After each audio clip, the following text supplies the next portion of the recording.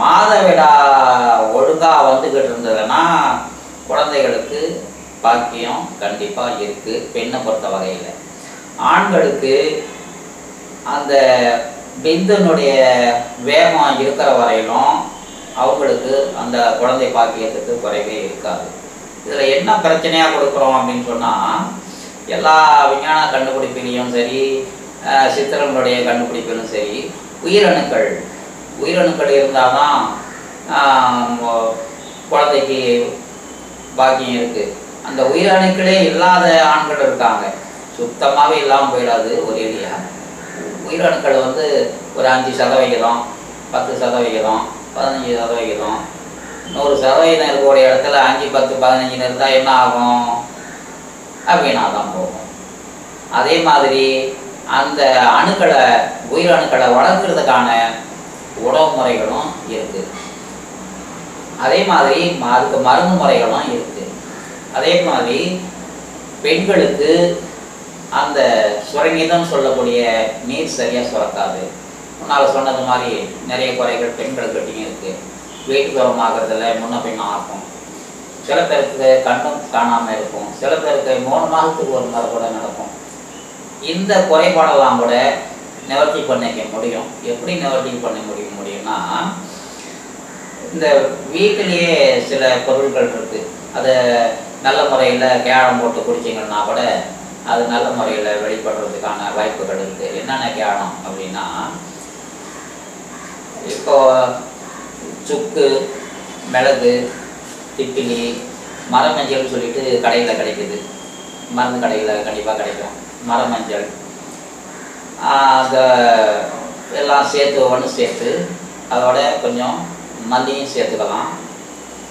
இவ்வளவையும் சேர்த்து போட்டு இடித்து ஒரு நல்ல ஒரு அரை லிட்டர் தண்ணியில் போட்டு கொதிக்க வச்சு ஒரு இரநூறு மில்லி ஆக்கி அந்த தண்ணியை குடிச்சிக்கிட்டு வந்தாலே கருப்பைகள் நல்லா பலம் பெற்று மாதவிடாயும் ஒழுங்குக்கு வரும். இதே வந்து நம்ம தொடர்ந்து ஒரு மூணு வாரம் வரையும் சாப்பிடலாம். அடுத்த குறைபாடு களையிறதுக்கு இந்த மலை வேம்புன்னு சொல்லக்கூடிய ஒரு வேம்பு இருக்கு. அந்த மலை வேம்பை என்ன செய்யலாம் அப்படின்னா அதனுடைய சாறு எடுத்து மாதவிடா ஒழுங்கா இருக்கக்கூடிய பெண்கள் ஒரு தேக்கரண்டி அளவு சாறு மாதவிடாயான முதல் நாள் வெறும் வயிற்றுல காலையில் அந்த சாறு குடிக்கணும். அப்படி குடித்தாங்கன்னு சொன்னால் ஒன்று மூணாவது நாள் சாப்பிடலாம் அப்படி இல்லைன்னா ரெண்டாவது நாள் சாப்பிடலாம். அந்த பச்சளைக்கு அவ்வளவு சக்தி இருக்குது அதிகம் சாப்பிடக்கூடாது. ஒரே ஒரு ஸ்பூனு தான். அதுக்கு மேலே சாப்பிட்டா அது வேற பின்விளைவை உண்டாக்கும் அதனால சொல்கிறேன் எந்த மருந்துக்குமே ஒரு அளவு இருக்குது சில மருந்து மூணு நாள் சாப்பிட வேண்டியிருக்கு. சில மருந்து ஒரு வேளை சாப்பிட வேண்டியிருக்கு. அப்படி வகை பார்க்க போகும்போது இந்த மருந்து ஒரே ஒரு வேளை தான் சாப்பிடணும். மறு வேளை சாப்பிடக்கூடாது மூணு வேளை சாப்பிட்ற மருந்தும் இருக்குது மூணு வேளை சாப்பிட்ற மருந்து என்ன அப்படின்னு கேட்டால் வேம்பு. வேம்புனுடைய பட்டையை நல்லா எடுத்து அதை பச்சையாவை போட்டு இடித்து வீட்டு வரும் ஆயிட்டோம் அப்படின்னு சொன்னால் முதல் நாடு காலையில். அதை நல்லா வேக போட்டு அரை லிட்டர் தண்ணியை வச்சு இரநூறு மில்லி ஆக்கி அந்த இரநூறு மில்லி தண்ணியும் கொடுக்கணும். மறுநாளும் அதே மாதிரி மூணாவது நாளும் அதே மாதிரி.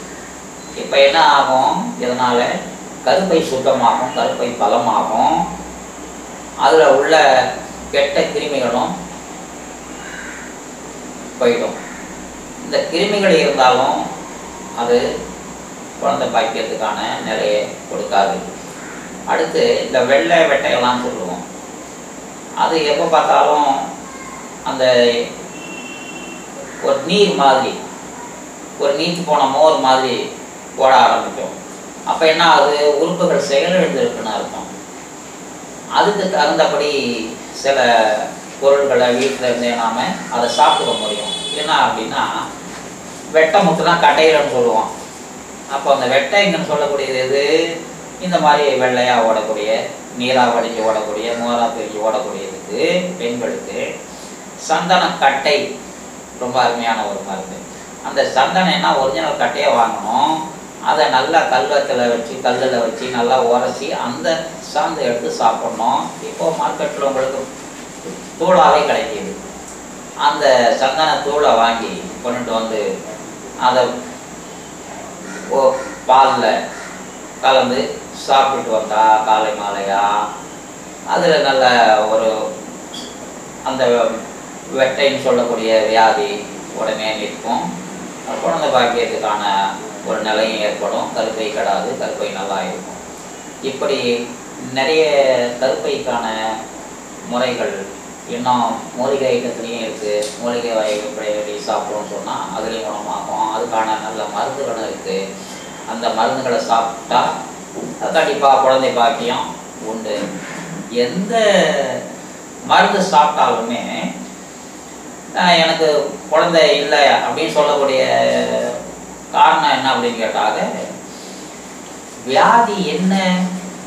ஒரு குழந்தை இல்லாததுதானா இல்ல இல்லை வேற ஏதாவது குறைகள் இருக்காங்கிறத முழுமையாக தெரிஞ்சுக்கிட்ட பிறகு மருந்து கொடுத்து சரி பண்ண முடியும்.